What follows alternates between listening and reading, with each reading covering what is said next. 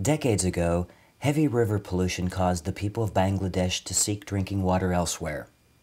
The United Nations sprang into action, funding tube wells like this one to carry groundwater from deep within the earth.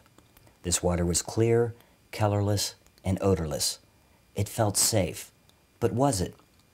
In 1993, chemists discovered that a hidden killer was concentrated in the water arsenic, a poisonous element. Concentrations of over 50 micrograms per liter were found, well in the excess of the World Health Organization's suggested limit of 10 micrograms per liter. So, how did the arsenic appear in the groundwater? There are several different theories. Chemists believe it started with the birth of our planet.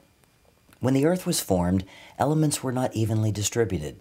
Like a cake recipe before you turn on the mixer, many elements were highly concentrated in a small range of locations. In the case of minerals like gold, this was good because it made finding and mining them possible. In the case of arsenic, it led to tragedy. One of these concentrations of arsenic exists in Bangladesh. Groundwater flows through sediments rich in arsenic, and the arsenic dissolves in the water. As you can see, this map shows regions of the country where the arsenic problems are severe. Based on preliminary testing, the red and purple sections have a high probability of excessive concentrations of arsenic.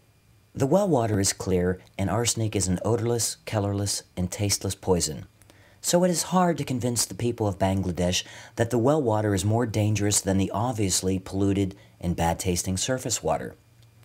Contaminated wells are painted red to warn people of the dangers. Unfortunately, they often have no alternative. Arsenic in drinking water has caused countless diseases. The impacts are noticed most prominently on the skin, including gangrene, keratitis, and skin cancer. Redness and burning in the eyes resulting from conjunctivitis is also common.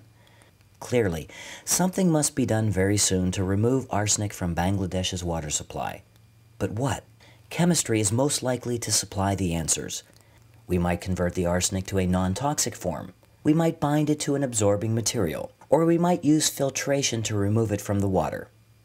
The virtual lab is equipped with the chemical solutions, including different arsenic solutions and solids, the necessary glassware, and analytical instruments you will need to gather data and perform experiments related to stoichiometry calculations.